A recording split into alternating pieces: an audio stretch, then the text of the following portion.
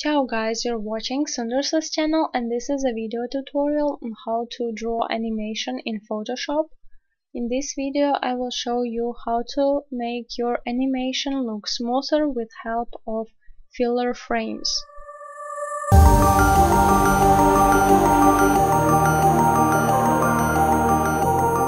First let's start with a little bit of theory. In my previous video I was showing how to draw a keyframe animation. To make it short, keyframes are basic frames that determine the direction of movement in a cartoon. Keyframes allow you to understand what is going on in the scene, however, it is not getting into details. For example, these three frames show a walking person. However, if you put all these three frames together, the movement will still look terrible and distorted. To make it look more realistic and smooth, we will require additional frames between the keyframes. Since the frames fill up the space between keyframes, I named them filler frames.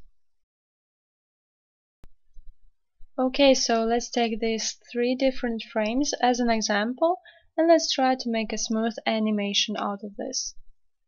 Um, I apologize for such an ugly cursor. I couldn't find how to hide this monster, since you still have to see what I am showing on my screen, I decided to keep it for a while.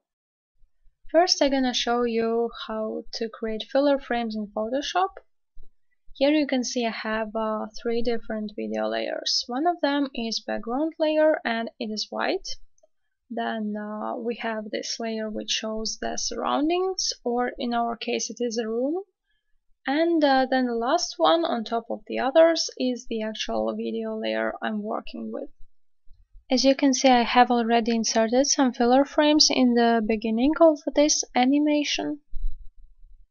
And so to insert new frames between the ones you already have, you will need to click this small button, cut. Your timeline will be split in two and uh, what I do next is I pull the second part of timeline and then I drag the first part. With this, new frames are added in between. The only one small inconvenience that I haven't solved yet is the new frames that you add are not blank, so you will have to erase what you have there. Another small advice is to adjust the onion skin settings.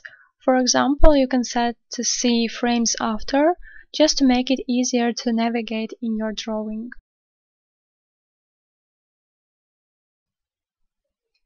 And so this is it. It isn't as complicated as you may think.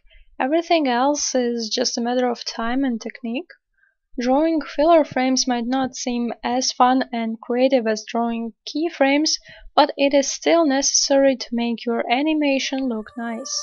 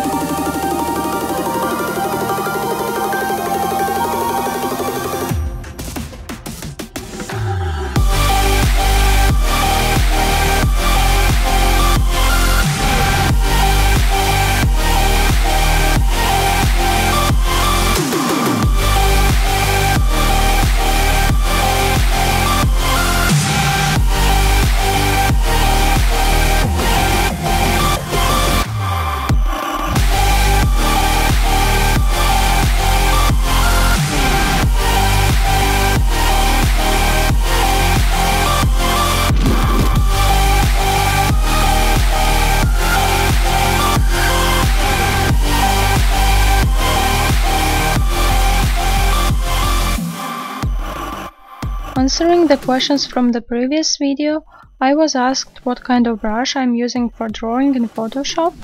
It is much easier to show than to write, so here is the brush and the settings that I use. But I suppose it differs for everyone, you need to find your own brush and settings you feel convenient to work with.